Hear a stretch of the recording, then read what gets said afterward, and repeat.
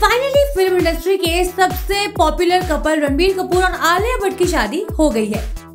दोनों ने मुंबई के अपने घर वास्तु में 14 अप्रैल को शादी की।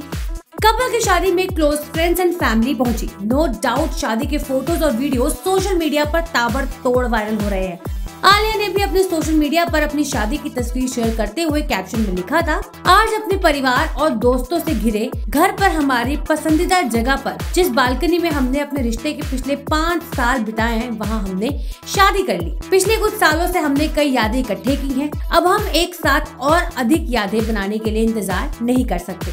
यादें, जो प्यार, हँसी, चुप्पी मूवी नाइट्स झगड़े से भरी हो। हमारे जीवन के इस महत्वपूर्ण समय में प्यार देने के लिए धन्यवाद। आपके इस प्यार की वजह से हमारा एक खास दिन और भी खास बन गया। लव रणबीर और आलिया।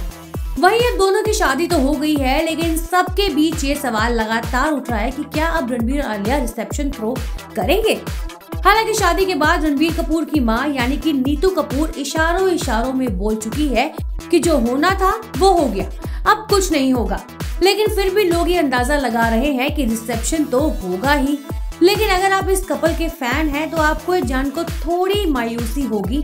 कि रणबीर कपूर और आलिया भट्ट की शादी के बाद सच में रिसेप्शन नहीं होने वाला है।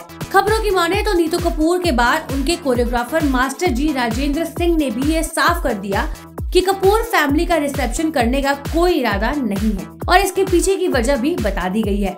मीडिया से खास बातचीत में मास्टर जी राजेंद्र ने बताया है कि कोई रिसेप्शन नहीं होने वाला। जो भी बातें चल रही हैं, वो यकीनन अफवाह ही होगी। नीतू कपूर शूटिंग कर रही है, रणबीर कपूर शूटिंग कर रहे हैं और आलिया भी काम कर रही है। तो जो भी हुआ, वो लास्ट था। अब शायद कोई पूजा होगी जिसके बारे में मुझे बहुत जानकारी नहीं है। और जहाँ तक मुझे पता है, कोई रिसेप्शन नहीं होने वाला। बता दें कि शादी के फ़ंक्शन खत्म होने के बाद नीतू कपूर अपनी बेटी रिद्धिमा और दामाद भरत सहनी के साथ मीडिया के सामने आई थी। उन्होंने पपराजी को थैंक यू कहा था और आलिया और रणबीर को ढेर सारा प्यार भी दिया। वही इसके अलावा जब उनसे रिसेप्शन को लेकर सवाल किया गया तो उन्होंने साफ़ कर दिया कि कोई रिसेप्शन नहीं होने जा रहा है, बल्कि उन्होंने कहा कि सब कुछ हो गया और अब आप आराम से घर जाकर सो जाइए।